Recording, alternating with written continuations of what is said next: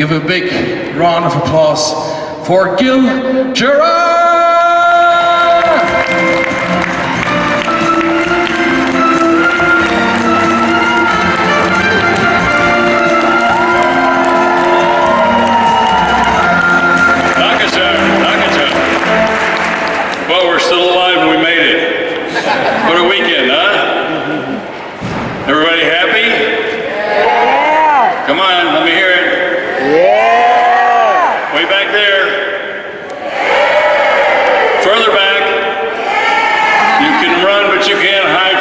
See every one of you. So, do you have fun today? Do you really have a good time? Yes. I thought it was a great convention. I enjoyed it very much. It was great to meet those of you I met. Those of you I didn't, tough. you had your chance. Anybody got any questions? Come on, so I get up. This is the way it works. There you go, see? Oliver, Yes? how are you? I'm See, fine, I- thank you. Huh? I'm fine, thank you. Glad to hear it. Thank you for coming to Stuttgart. Thank you. Um, my question is, uh, do you know after the second season uh, why there is now third season uh, return to Earth with Buck Rogers in the TV show? Well, what happened was that uh, the second season, the milieu in which it was set, a Buck leaving Earth and going off on the searcher and all that kind of stuff, basically destroyed the show and the audience for it. So it was canceled. I had pitched to, to the powers that be at Universal. I'd gone there and said, look, this is what I always wanted to see happen with Buck Rogers. I wanted to see Buck stay on Earth, go out and have adventures on Earth, discover how people were staying alive or whatever, what, ha- what happened to them. Uh, basically because Buck has not been on Earth for 500 years, why would he take off again? So uh, they said, that's, wow, that's the best idea we've heard in two years. And they said, why haven't we heard it before? I said, because no one would listen to me. So they asked me to pitch it to NBC, which was the network it was on. The president of NBC was a good friend of mine, so I called him up and I said, you know, this is what I just pitched to the people at Universal. They liked it so much they want me to pitch it to you. So I pitched it to him and he said, well, if the show is picked up, that's the way we'll go next year. Uh, the show wasn't picked up. It was the most expensive show on television at that time.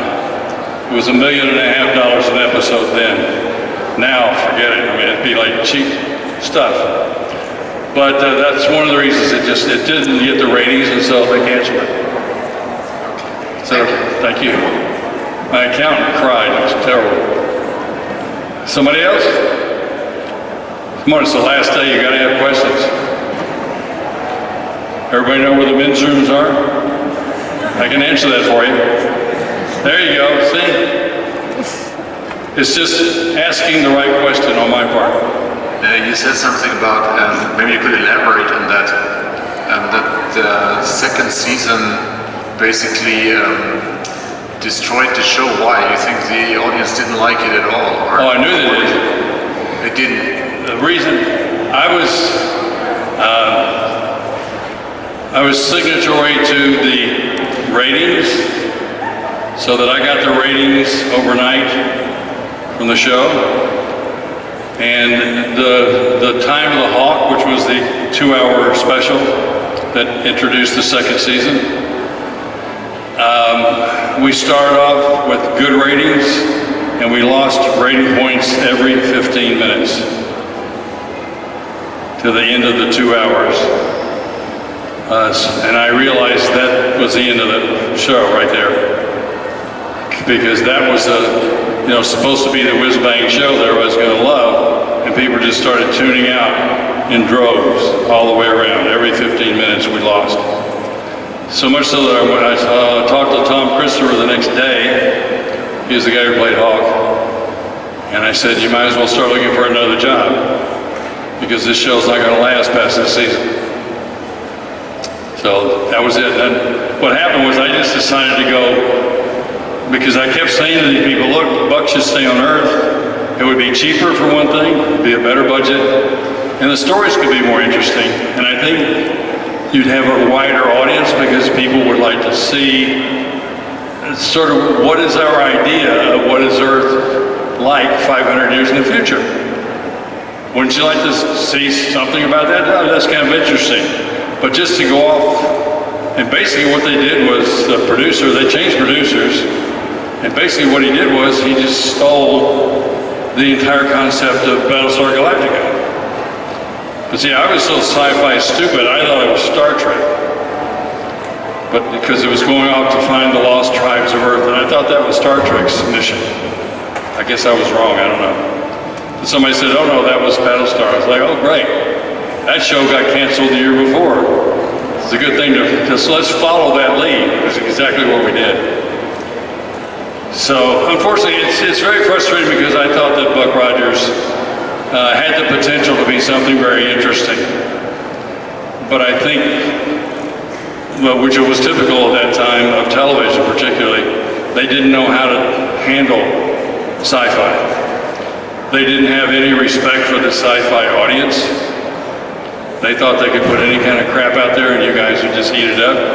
And it's like, no, these people have a brain. They like to be, they like to ponder, ponder puzzles. And you're just giving them the same old stuff, just wrapped in a sci-fi package. So, yes, sir. Um, in Germany, the, we didn't have the series in Germany in the 80s. Just, I think it came later. We had uh, two pilots, the pilots as a one and a half hour movie in the cinema. Did, It was one hour. It was a movie first. did you have a theatrical run in the Yes. States as well? It was a motion picture before because it was a series.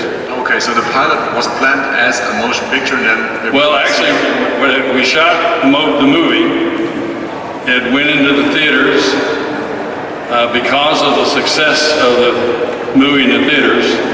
It was one of the top five grossing motion pictures in 1979.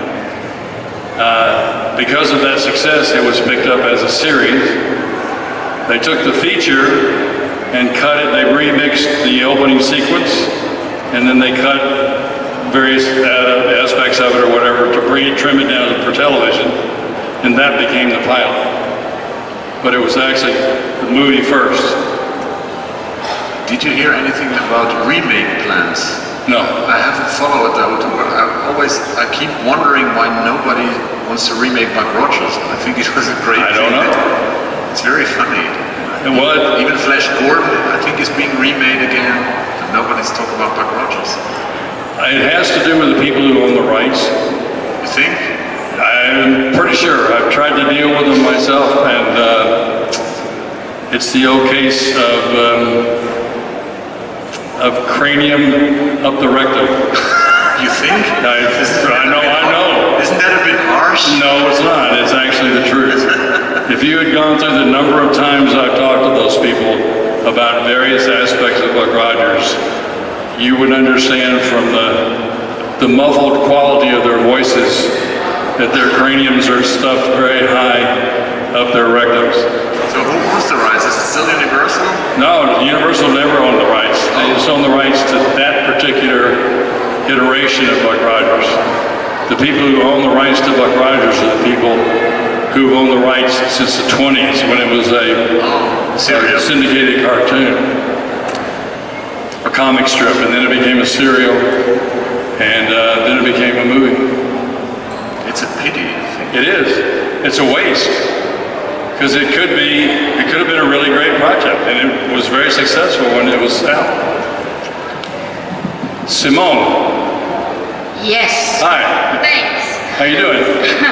Fine. Good. I hope you understand me. You have in the series a very sexy outfit. You like it? Say that again. Sexy outfit. So. Oh, the outfit. Yes. Ah. Yes. Keep moving like that, baby. There you go. Yes. put that to music. There you go. Did I like it? I-. It was okay. Uh, the white outfit was very uncomfortable. Uh, um, it was made of spandex. Everybody thinks of spandex as being stretchable. It's not. Trust me on that one. Um, and also, if you have the slightest moisture on your skin, you couldn't get it on. So I had to wear silk underwear, long johns, all the way here, all the way down, just to get this thing on. By the end of the day, when I took it off, I had literally lines in my skin from the, the piping that was on the legs of the thing.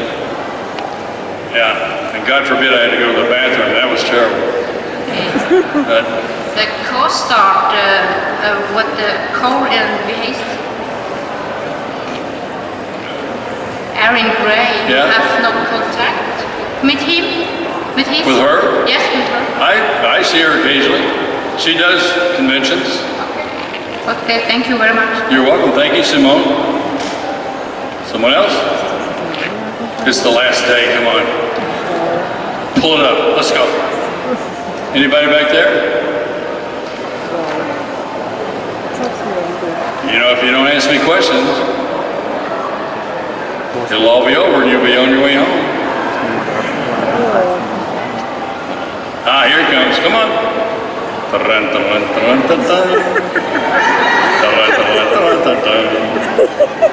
Yeah, I remember watching you when I was younger. Um, whatever happened to Twiki?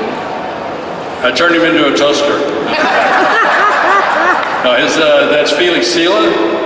He lives in Las Vegas. Um, I just sent him an email, as a matter of fact, today, because some guys are interested in him coming to England for three different conventions uh, later this year, actually. Uh, Felix and I, we talk at least once or twice a month. I try to get him into as many conventions as I can because he's a very popular character. Not only from Buck Rogers, but from Cousin It. He did all the flying Ewok stunts in Star Wars. He was in Star Trek. I mean, I said to people, he's got a wider fan base than I do, for God's sake. But uh, uh, yeah, he's a he's an irascible old Italian. But we have a lot of fun together. He's a good guy. Thank you. Yes. He actually had the suit until about, I think, five years ago or so. He had his suit. It was falling apart, and somebody paid him $25,000 for the suit. So he said, I wasn't going to turn that down. He said, because it was only about another month before the thing was dust. So, but apparently the guy took the suit and then reconditioned the whole thing. So it still exists somewhere. Now see, he would, ah, there you go. Yeah, somebody has to keep the conversation. Absolutely. it's not time to go home yet. We're all about Rogers fans, so basically we know about the series. Can you tell some stories from behind the scenes? What was the most bizarre thing that happened there, or the most funny thing? Oh, Come on! oh, now it's up to me, huh? Now it's up to you! Thanks a Keep lot. us entertained! Okay. Let's see, something bizarre. Hmm, can't think of anything. Everything was just so staid and well done. Um, I remember my stunt guy who passed away. He was younger than I am, and he passed away a few years ago. Um, he was a really uh, great karate expert. He actually worked with Bruce Lee, trained Bruce Lee's son, uh, and he was a really good stunt double for me. And I was talking about the spandex suits. Well, he tried to do a double leaping kick and split the thing right down the butt. So we had to put some expansion things in there for him. Um, I remember they were very excited about showing me the mock-up for the Starfighter for the the cockpit scenes where I was going to be in the cockpit in a battle or whatever. They were very excited about it. They brought me in, showed me all the stuff, all the lights and things that were inside, and this is really great. And I looked inside and I said, that's really terrific, but where am I supposed to put my feet? it went straight, like, here was the top of it, and here was the seat.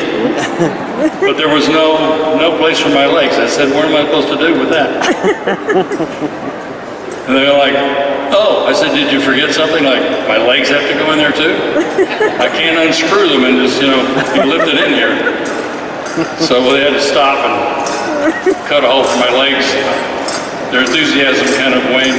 And I said, also, I said, there's no backing here. I mean, it doesn't it seem like a little uh, bad, the fact that there's nothing back there to brace me because of the forces that, you know, would be involved with the dogfight or whatever. I'm just floating in space in this thing. So, oh yeah, okay, so they had to put backing on it and make it look like a kind of a fighter pilot thing. Uh, I remember with special effects guys, there was a scene where when I fired the ray gun, it was just a, it was a thing that was like a flashlight on the end of it. And the trigger was just a button that I would push and the light would go on. And that would cue the special effects people to begin to draw the laser beam. Now, I don't know how you, how many of you know this, but they had to hand paint frame by frame the laser beam as it came out. So what would happen is I'd pull the thing and the light would go on and then do a close-up of, uh, let's say, a light switch or something or a computer terminal and it would explode. So then what they had to do was then they took it and they drew the laser. You're not allowed to leave. He doesn't care. Attention! Anyway, they would draw it all the way over until it hit the light thing and it would then hit and it'd show the explosion. And one time I was there and I pulled the trigger and the thing exploded and the cover blew right past my ear. So I thought, I mean, who did I piss off in special effects? They're trying to kill me, at least take my ear off. But uh, yeah, then I did a western and I did a gun battle. And as I leaped behind a, law, a rock, they, they were called squibs, these charges of gunpowder. And the squib went off just as I went over it, it blew a hole in my leg. So I think, you know, I think it was the same guys from Universal. And it's like, I must have pissed one of these guys off. Hopefully I didn't have an affair with his wife or something, I just don't know it. But anyway, you're supposed to smile about that. I was very chaste through the whole thing. Thank you very much. So anybody else? This man's working his ass off over here. None of you have any questions? Do you want to know what? There you go. Oliver, you tell him.